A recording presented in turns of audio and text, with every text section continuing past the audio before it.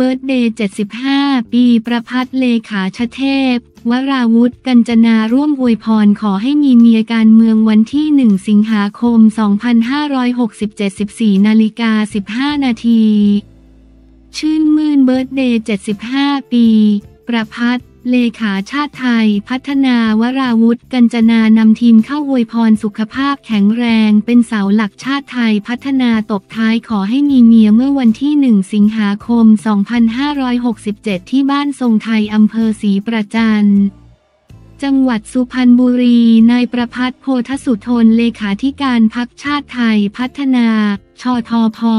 และอดีตรมชเกษตร และสหกรณ์ทำบุญเลี้ยงพระ 19 รูปในวันคล้ายวันเกิดครบรอบ 75 ปี โดยมีญาติสนิทนายนัทพัฒน์สุวรรณประทีปผู้ว่าราชการจังหวัดสุพรรณบุรี ข้าราชการหลายหน่วยงานในจังหวัด และชาวสุพรรณบุรีจากหลายอำเภอแกนนำและสมาชิกพักชาติไทยพัฒนา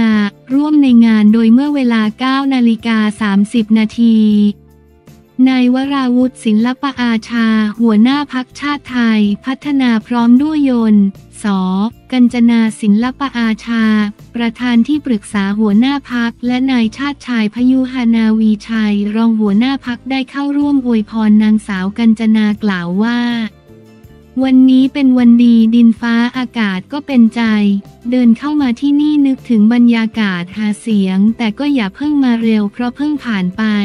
เจอกันครั้งใดนายประพัฒก็ยังสดชื่นแจ่มใสอย่างนี้อยู่เสมอ ตั้งแต่สมัยที่พ่อบรรหารศิลปอาชา ยังอยู่จนมาถึงรุ่นลูกคือเราสองคนพี่น้องนายประพัฒก็ยังเป็นอาคนเดิมที่มั่นคงต่อพักชาติไทยพัฒนามาตลอดพักชาติไทยพัฒนาจะไม่มีนายประพัฒไม่ได้เลย เพราะเป็นเสาหลักมาตั้งแต่รุ่นพ่อมารุ่นลูก วันนี้เป็นวันดี ส่วนเรื่องอายุไม่ต้องพูดถึงขออาราธนาสิ่งศักดิ์สิทธิ์ในจังหวัดสุพรรณบุรี และที่ทุกคนเคารพนับถือโปรดอำนวยอวยพรให้นายประพัฒของพวกเรามีสุขภาพร่างกายแข็งแรง สุขสดชื่นแจ่มใส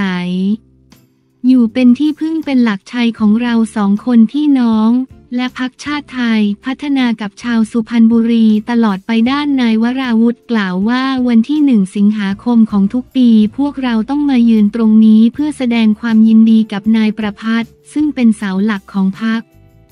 มาตั้งแต่สมัยพ่อบรรหารจนถึงทุกวันนี้ ความรักความผูกพัน ความเคารพที่มีต่อกันอย่างไม่เสื่อมคลาย พักเราอยู่กันเป็นครอบครัวอยู่กันเหมือนพี่น้องอาหลานและไม่ว่าจะอยู่ในสถานะหรือตำแหน่งใด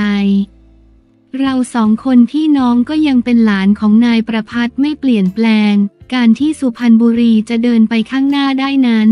ศิลปอาชาก็ต้องมีโพธสุทนเคียงข้าง ตั้งแต่สมัยพ่อบรรหารชั้นใดมาถึงกัญจนาและวราวุธเราก็ยังต้องมีคนนำทางคอยชี้ทางเป็นพี่เลี้ยงคอยดูแลพวกเรา และคอยดูแลพักชาติไทยพัฒนาตลอดไป ในวันครบรอบวันนี้ขอให้พวกเราทุกคนเป็นกำลังใจให้กับคนชื่อประพัฒ โพธสุทนทำงานเพื่อประชาชนทำงานเพื่อพักชาติไทยพัฒนาและเป็นเสาหลักให้กับพวกเราขออำนาจสิ่งศักดิ์สิทธิ์ทั้งหลายที่พวกเราเคารพนับถือ พระนเรศวรมหาราชหลวงพ่อโตวัดป่าเลไลศาลหลักเมืองจังหวัดสุพรรณบุรี และดวงวิญญาณของพ่อบรรหารโปรดดลบันดาลให้อาประพัดของพวกเรานั้นทั้งแข็งทั้งแรงทั้งยาวทั้งทน คือมีสุขภาพแข็งแรง มีแรงกายแรงใจ มีอายุยืน และอึดถึกทนทายาทอยู่กับพวกเราและชาวสุพรรณบุรีตลอดไปอย่างไรก็ตามนายวราวุธกล่าวกระเซ้าในตอนท้ายด้วยว่าขอให้มีเมียตามที่ร้องขอซึ่งเรียกเสียงหัวเราะชอบใจจากนายประพัฒ เป็นอย่างมากโดยได้กล่าวย้ำด้วยตัวเองว่า แรงดีมีเมีย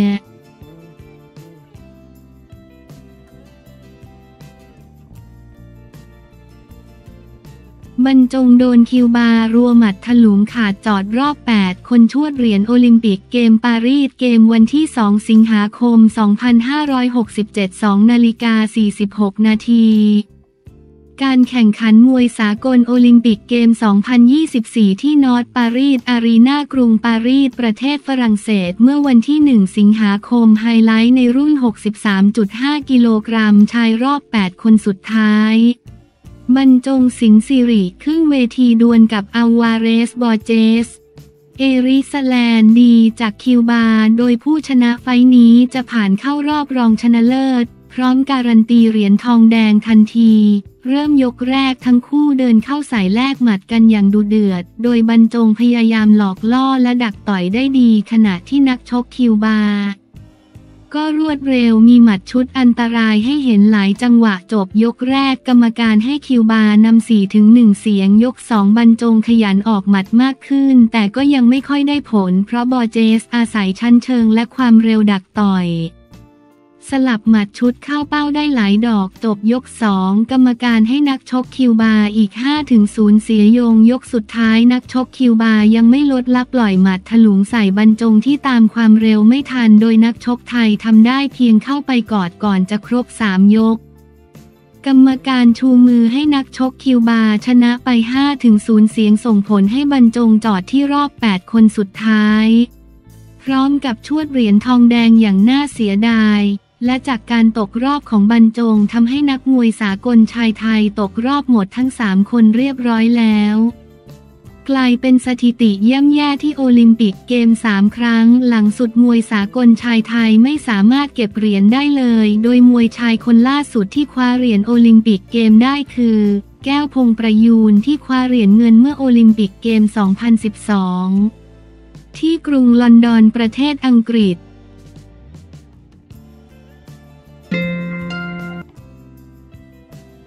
ลือก้าวไกลควบรวมถิ่นกาขาวดันสิริกัญญานั่งหัวเรือใหญ่การเมืองวันที่ 2 สิงหาคม 2567 4นาฬิกา 21 นาที ลือหึงก้าวไกล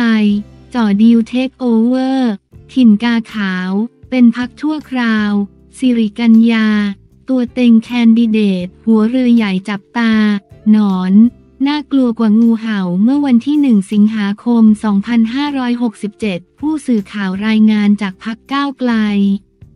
ถึงการเตรียมพร้อมรับมือคดียุบพักที่สารรัฐธรรมนูญนัดชี้ขาดในวันที่ 7 สิงหาคม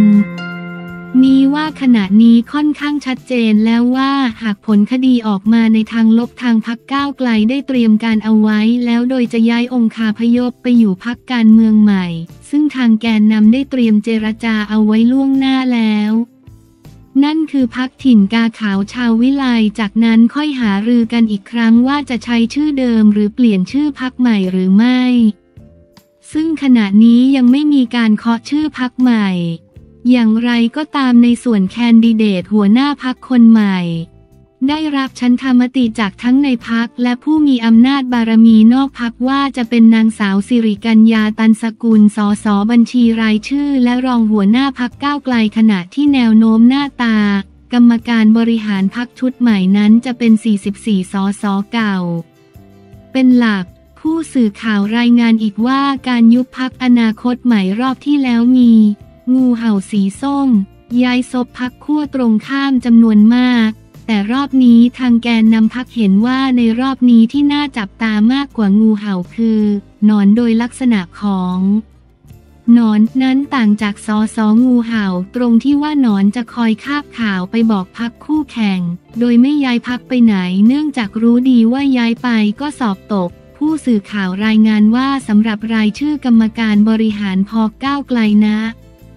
ขณะที่ถูกดำเนินคดีและจะถูกตัดสิทธิ์ทางการเมือง หากผลทางคดียุบพักออกมาเป็นลบนั้น ประกอบด้วยนายพิธาลิ้มเจริญรัตหัวหน้าพักก้าวไกลนายชัยธวัฒน์ตุลาธนเลขาธิการพักนางสาวนาทีพัฒน์กุลเศรษฐสิทธิ์